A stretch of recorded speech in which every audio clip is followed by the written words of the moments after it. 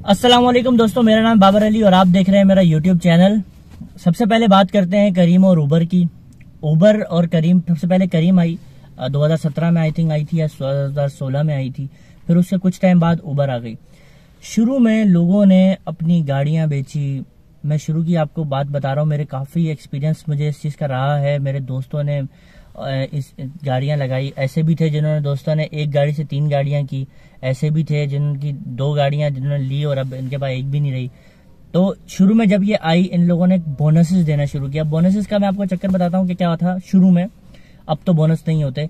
Bonuses का चक्कर ये था कि सबसे पहले अगर आप एक टारगेट होता था आपके पास वीकली। अगर आप वो टारगेट कंप्लीट कर लेते हैं तो उस टारगेट के मुताबिक अगर आपने 50 फ्राइडे की तो उसका दस हज़ार बोनस था। वो भी करीम जो है 25 परसेंट जो है अपनी, जो आपसे कटौती करता था, आपकी टोटल राइड की इनकम में से उसमें से देता था। बाज वो अमूमन उतना ही बन जाता था और कभी कभी जो है करीम कुछ हज़ार, दो हज़ार एक्स्ट्रा डाल के आपको दस हज़ार रुपए का बोनस दे दिया करता था।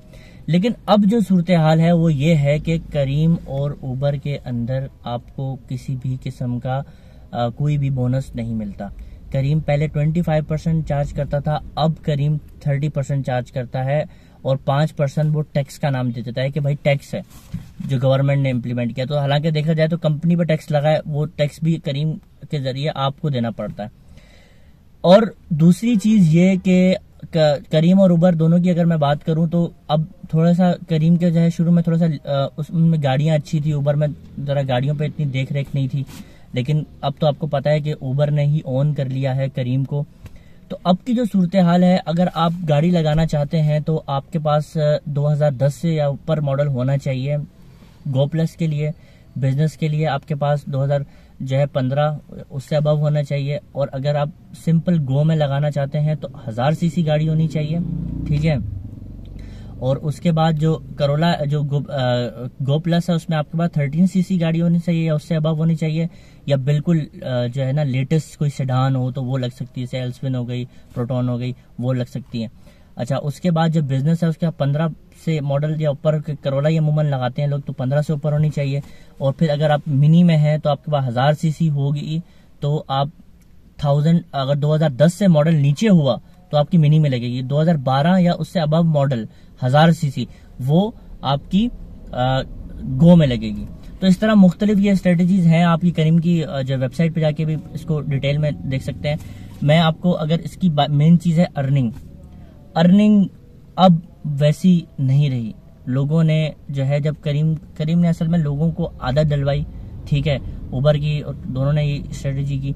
लोगों को पहले अपनी आदत डलवाई और जो है, करीम के ड्राइवर्स को भी और वो जो है लोगों को भी। उनको आदत लग गई। अब लोगों को तो फ़ायदा है जो यूज़ करते हैं करीम। लेकिन उनको फ़ायदा नहीं है जो चलाते हैं। हाँ बशर्त मैं आपको कभी मना नहीं करूँगा कि आप करीम और उबर में गाड़ी ना लगाएँ। मैं आपको मना नहीं करूँगा आप गाड़ी ज़रूर रजिस्टर करवाएँ। उससे आपको सबसे बड़ा फ़ायदा ये होगा कि आपके प्राइवेट लिंक्स बन जाते हैं। जैसे मेरा एक फ्रेंड है वो आ, करीम के साथ आ, उसने चलाना शुरू की थी। बीच यूनिवर्सिटी यूनिवर्सिटी के लेवल में ही था वो तो वो अपनी चलाता था गाड़ी। तो उसने जो है वो आहिस्ता आहिस्ता जो है उसके क्लाइंट्स इतने बन गए कि उसको अब करीम की वो मुझे खुद बताता है कि उसको खोलने की ज़रूरत ही नहीं पड़ती। डायरेक्ट उसके साथ जो है वो लिंक बन जाता है लोगों का। और दूसरा ये कि अगर फॉर एग्जांपल आप इस शोबे से वाबस्ता है, टैक्सी शोबे से वाबस्ता है तो आपको जो है, आप फॉर एग्जांपल आप वन साइड किसी के साथ जाते हैं तो वापसी में आप मैप ऑन करके आपका ऑप्शन होता है, आप एड डेस्टिनेशन डाल के वापस अपने इलाके की या कि, अपनी मन चाहे जगह की राइड ले सकते हैं तो ना होने से बेहतर आपको कुछ ना कुछ मिल ही जाएगा। तो मतलब आप ये कह लें कि टोटल इस आपको करीम पर रिलाई नहीं कर सकते, आपको जो है दूसरे प्राइवेट क्लाइंट जो बनेंगे, उससे आपको अच्छा फ़ायदा होगा, लेकिन ना होने से बेहतर है आप रजिस्टर लाजमी करवाएँ, फिर अपने हिसाब से थोड़ा खेलें, समझें चीज़ों को और देखें। बाकी जो करीम में जिस तरह शुरू में डेढ़ डेढ़ लाख रुपए लोग मंथली अर्निंग कर लेते थे, अब अगर आप टोटली करीम पर बेस्ड करें तो आपकी अर्निंग कम से कम साठ सत्तर हज़ार होगी गो हो या गो प्लस हो, इतना कोई ज़्यादा डिफरेंस नहीं आएगा। गो होगी गाड़ी तो आपकी मेंटेनेंस चार्जेस कम निकालेगी, किराया छोटी होगी। बड़ी होगी मेंटेनेंस चार्जेस थोड़ा ज़्यादा निकालेगी और गो और गो प्लस की राइड में सिर्फ़ सौ रुपए का डिफरेंस या डेढ़ सौ रुपए का डिफरेंस है। बहरहाल, लेकिन गो प्लस में आपको फ़ायदा जो है वो ये हो जाता है कि गो प्लस के अंदर आपको एडवांस राइड बुक करने का ऑप्शन एक मिल जाता है। उससे आप गाड़ी जो है, आपकी कोई भी गाड़ी जो है, अगर आप चला रहे हैं तो कोई बंदा आपकी गाड़ी को एडवांस रजिस्टर कर सकता है। उसके एक्स्ट्रा थ्री हंड्रेड चार्जेस आपको मिल जाते हैं। बाकी ऐसी छोटी मोटी चीज़ें जो हैं, वो आपको करीम की वेबसाइट पे मिल जाएँगी कि आपने कैसे चीज़ें हैं, क्या उनके रेट्स हैं, सब कुछ है। लेकिन जो मेन चीज़ ये है, मैं आपको मना नहीं करूँगा, आप गाड़ी लाजमी रजिस्टर करवाएँ, ठीक है? गाड़ी रजिस्टर करवाएँ, अपने प्राइवेट क्लाइंट्स बनाएँ, इससे आपको बहुत फ़ायदा होगा। उम्मीद करता हूँ आपको वीडियो पसंद आई होगी। इसी तरह की इन्फॉर्मेटिव वीडियो के लिए चैनल को सब्सक्राइब कीजिए लाइक कीजिए। मिलते हैं इंशाल्लाह नेक्स्ट वीडियो में। नेक्स्ट किसी इन्फॉर्मेटिव बात के साथ।